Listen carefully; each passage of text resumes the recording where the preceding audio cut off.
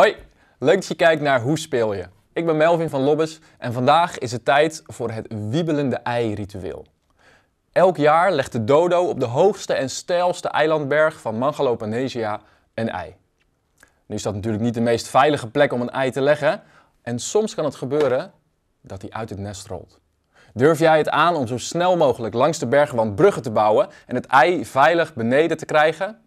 Kijk snel mee, dan leg ik je uit hoe je dodo speelt. Je speelt dit spel rondom een eilandberg, die je zelf gaat bouwen. In de doos vind je de instructies voor het bouwen.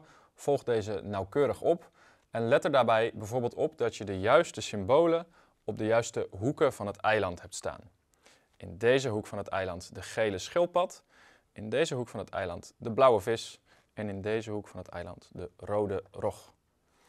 De boot leg je in de buurt van zijn uiteindelijke lichtplaats en de zes bruggen leg je met de bruine achterkant naar boven en let er daarbij op dat je ze van 1 tot en met 6 genummerd hebt, waarbij 1 bovenop ligt en 6 onderop.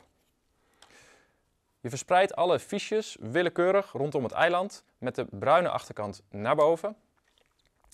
En het wiebelende ei plaats je in het nest, bovenop de berg en je schuift de dodo er zo voor dat het ei er nog niet uit kan ontsnappen. Tot slot is het belangrijk om te controleren of de tafel of de vloer waarop je speelt waterpas is. Is dat niet zo, probeer dan een manier te vinden waarop je de berg toch waterpas neer kunt zetten, want dat is belangrijk voor het spel. De jongste speler krijgt de dobbelsteen. Hij duwt de dodo voorzichtig naar voren, zodat de vogel naar beneden kijkt en het ei begint te rollen. Voor de speluitleg zal ik hem straks weer even stilleggen, maar je ziet dat het ei langzaam begint te rollen, zodat het hier straks van de steile bergwand af gaat rollen. Jullie taak als team is om ervoor te zorgen dat je zo snel mogelijk de bruggen bouwt. Het is dus zaak om het ei voor te blijven, door zo snel mogelijk alle bruggen te bouwen. En hoe bouw je dan een brug? Een speelbeurt bestaat uit het gooien van de dobbelsteen en het omdraaien van een fiche. Naar keuze.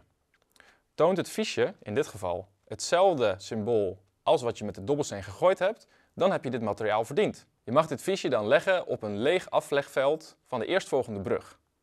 Of, wanneer alle bruggen al gebouwd zijn, op een leeg aflegveld voor de boot. Toont het omgedraaide fiche een ander symbool dan wat je met de dobbelsteen gegooid hebt, dan moet je het fiche weer terug omdraaien. Je kunt natuurlijk wel onthouden waar het fiche ligt, om hem op een laatst moment tactisch uit te kiezen. Staat er op het fiche een Hagula Mina Pitopassi, een van de inheemse bevolking, dan is dat een joker die je direct op het eerste vrije aflegveld mag plaatsen, ongeacht wat je gedobbeld hebt.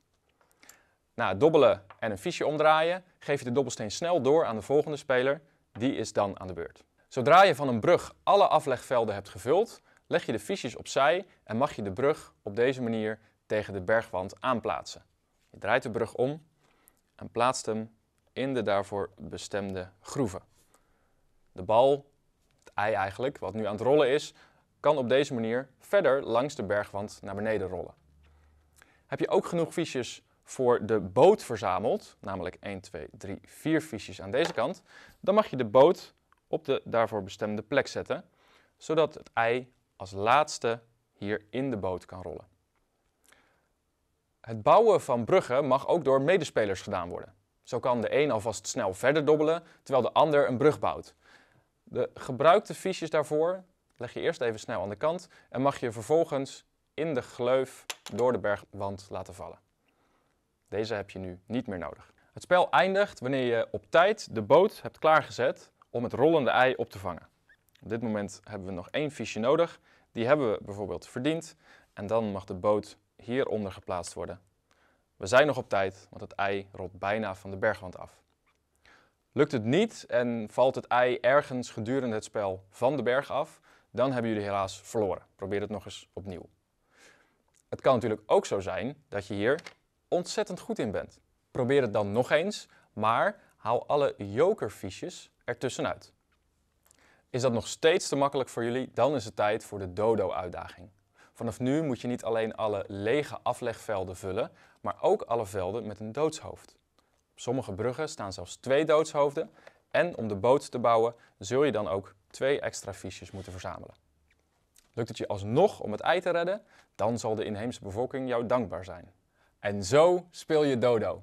Heel veel plezier met het spelen. Laat ons vooral in de reacties weten in hoeveel tijd het jullie gelukt is om alle bruggen te bouwen en het ei veilig beneden te krijgen. En dan zien we je bij een volgende video. Hoi hoi!